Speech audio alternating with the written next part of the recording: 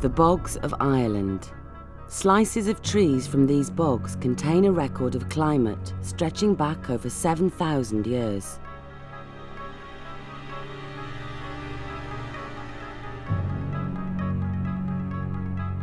Each year, the trees put on a ring of growth.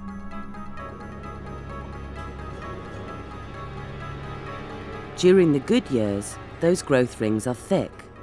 In bad years, so small they can be hard to measure.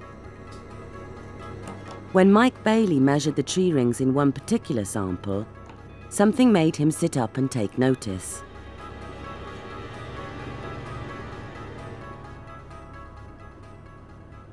This is a piece of Irish oak. It grew for about 300 years and then was buried in a peat bog and has survived to the present time. It was actually growing about three and a half thousand years ago.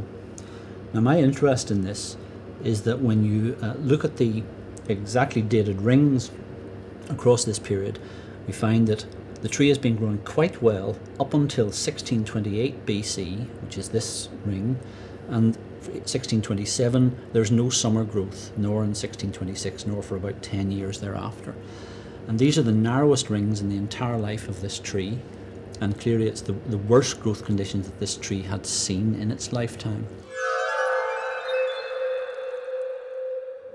The trees can't tell us exactly what happened, but the logic is that they were probably responding to um, increased coldness or increased wetness, or possibly both. And the thing about wetness on a peat bog is that if you raise the amount of water in the peat, raise the water table, you're likely to cover up the roots of the trees and, and affect them in that way.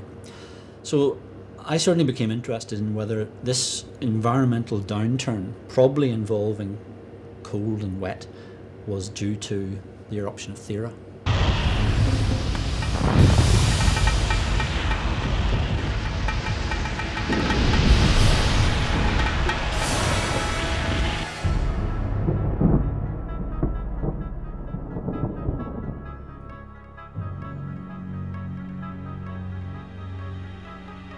Absolute proof that the Irish oak trees were stunted by the eruption of Thera has just been reported from one of the most desolate parts of the world.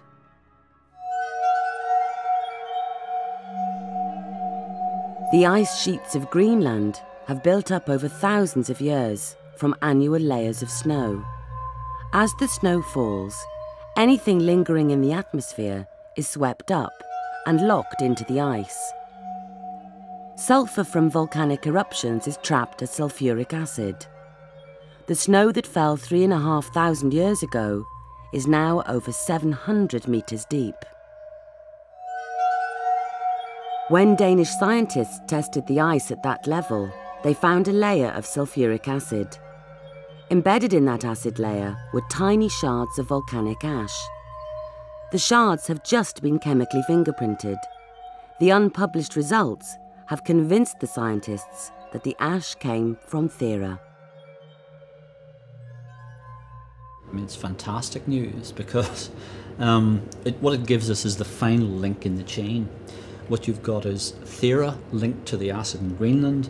The acid in Greenland is occurring at exactly the same time as this reduced growth in the Irish trees. So what you're seeing here are the direct environmental consequences of the eruption of Thera. And that, that is fantastic.